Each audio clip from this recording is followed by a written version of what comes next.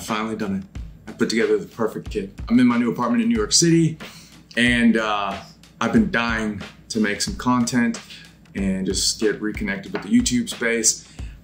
But I've had to, as you can see, the place is a little bit of a mess set up and I had a bunch of jobs back to back to back, but now I'm free. Anyway, what am I talking about? The perfect kit doesn't exist, right?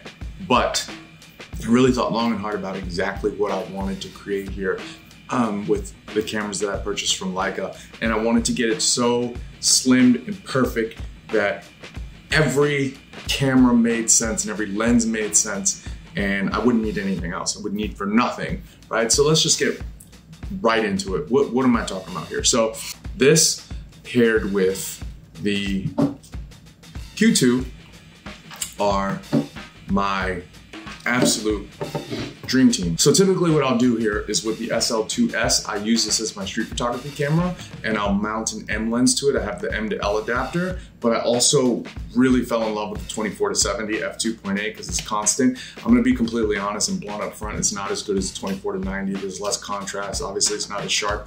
Do I care about sharpness that much? Not really, especially in my street photography, but when I'm working, I, I do appreciate something that's a little bit more, um, has some more resolve and power than this particular lens. But it's undeniable that for the price and for the constant f2.8 of this lens, it's an absolute incredible workhorse. And if you ever want to do some video with your SL2 or your SL2S, then this is the better choice for video.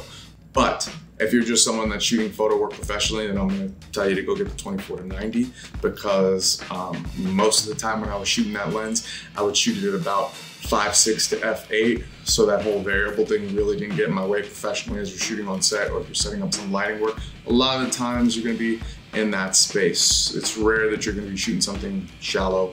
Um, maybe you do, I don't know. I don't know what field you work in and when that's acceptable, but if you do it, more power to you. Um, go for it. Uh, okay, so what I'll do is now, as I walk around in the streets, I put the uh, 35 millimeter Summicron from this camera onto this with the M to L adapter, and I keep these two on me at all times. So I'll leave the house with this Q2, which I bought with my own money, brand new. Actually, I was at Adorama and me and my brother were joking around and asked if they had any Q2s in stock, and he actually laughed at me. And then he was like, but you know what, let me check. And they had one and I felt like I had to put my money where my mouth is, so I ended up leaving there with the Q2. Uh, I had a couple lenses to sell on the spot, so I knocked the price down a little bit on this thing, which was great. Originally, um, like a, I don't know if I told you guys this in a previous video, but they sent me a couple free cameras to keep because I don't know if I call myself an ambassador for the company, but they're blessing me and I'm creating a lot of content for them on the side. I film a bunch of things and they also promote my photography. So I am part of the Leica family. I love them. So I asked for a Q2 and SL2, and they said the Q2 is back ordered forever, so they gave me the SL2 and they gave me the M10R. So these cameras were from Leica for me to keep, and I absolutely love these, but in the back of my mind, I always wanted the Q2 because I have cataracts really badly. I am such a rangefinder shooter. Obviously, I love rangefinders. I have the M7 here. This was my first Leica purchase ever, uh, along with this 28 millimeter Elmarit and the 35 millimeter Summicron and I love that experience. So it made sense for me to want the M10R, but unfortunately, because my right eye is getting so bad, I don't really like shooting um, the rangefinders that much now because I like to actually go a bit slower with them and compose my shots. But this, these two with the EVF have been an absolute blessing. So if you're someone with really shitty vision like me and you're looking for something to shoot, absolutely pick up a Q2 and then do yourself a favor, grab an M lens with M to L adapter and throw it on this camera because shooting with this camera, street photography, is like the colors that I'm able to achieve, the dynamic range of this sensor is mind boggling.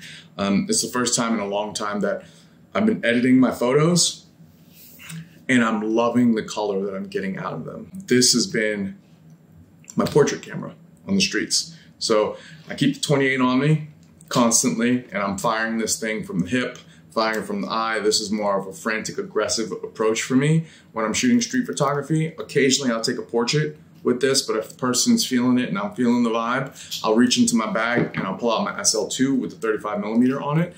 And I'll just be like, you know what, this is such a good moment. I'm gonna fire off a couple portraits on my real camera. They don't know what the hell I'm talking about, but this looks legit and it looks way more serious than taking photos with this. So it's almost kind of like, you know, I'm asking for permission to shoot them more professionally and uh, spend more time with them. You know what I mean? When they start to see. So sometimes, you know, I'll grab a couple with the Q2, but the moment that I pull this out, I let them know, okay, let's get some real photos going on here. So I take this out and I've been shooting a ton of portraits with this camera and carrying two cameras around was kind of a pain in the ass back in the day when I had this camera and the M10P and the M10 and the M10 monochrome. I used to always carry these two in tandem, um, not the M10R, but the models that I just listed because I would keep black and white film in here.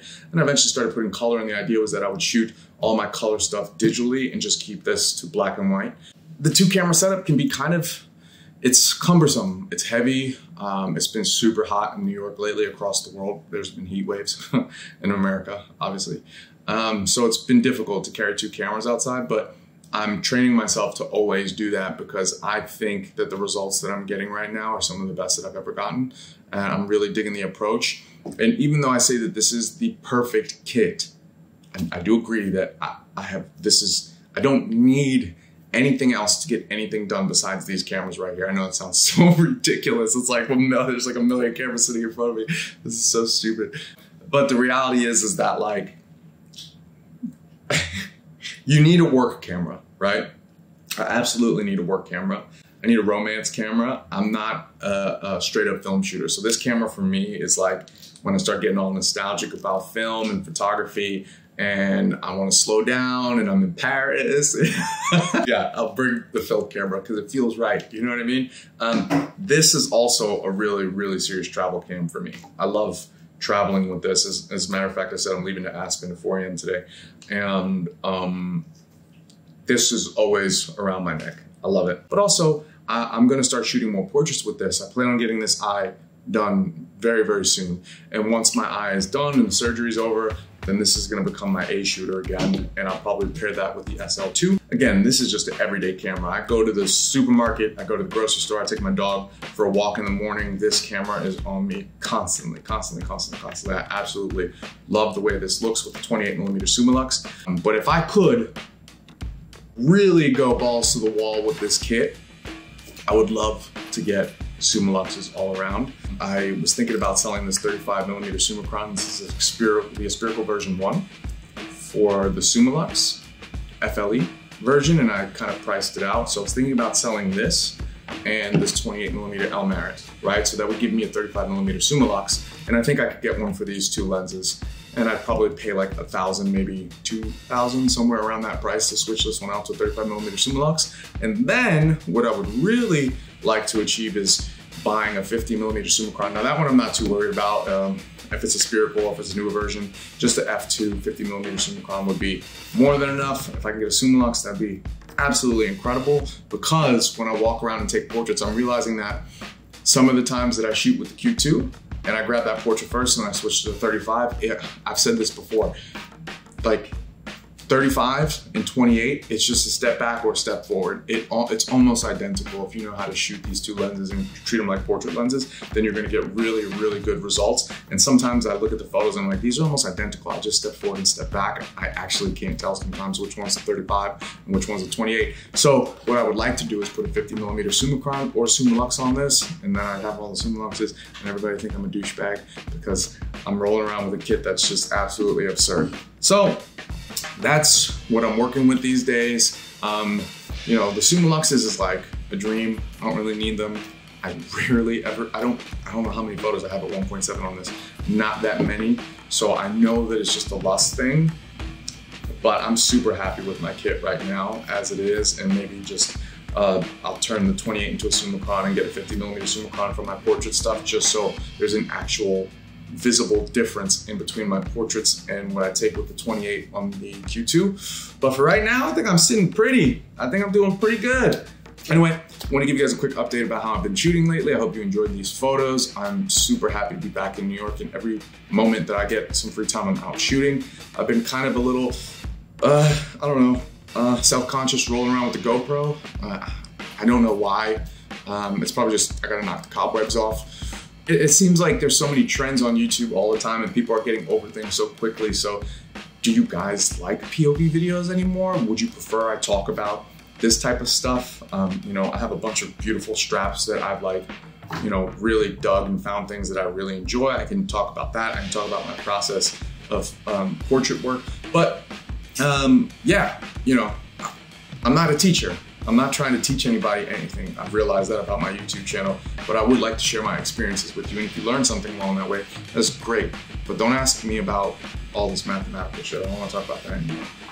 So anyway, catch you guys on the next one. Let me know what you're interested in me making now that I'm back in New York. And uh, catch me in Coney Island on Fridays and Saturdays. I go out there every time to shoot. And I've been running into some people out there. So shout out to everybody at 4th of July that I saw. And uh, anybody that's hating and being like, oh, this guy even listen to Metallica. Yeah. Fucking listen to Metallica. Look at the back of the fucking shirt. I mean, you can't even get this shirt unless you went to the concert. Maybe you can. Maybe you can order eBay. But I went there. 2017, Webster Hall, 250 people. F you. I listen to Metallica.